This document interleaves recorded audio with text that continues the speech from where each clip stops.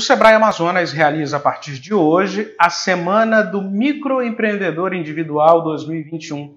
A programação conta com palestras, cursos, workshops e serviços de consultorias para microempreendedores individuais e potenciais empreendedores. O evento segue até o dia 21 de maio, das 3 da tarde até as 10 da noite. Ao todo, o Amazonas possui mais de 113 mil MEIs que são negócios de pequeno porte, e o faturamento anual não passa de 80 mil reais. A programação será totalmente online e as atividades gratuitas. Para ter acesso, o microempresário deve fazer sua inscrição no endereço que aparece aqui na tela e também na descrição do vídeo.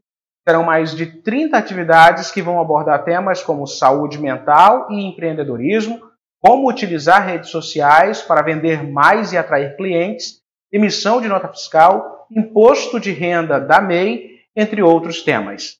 Siga bem informado, inscreva-se em nosso canal no YouTube, o Real Time 1 Notícias.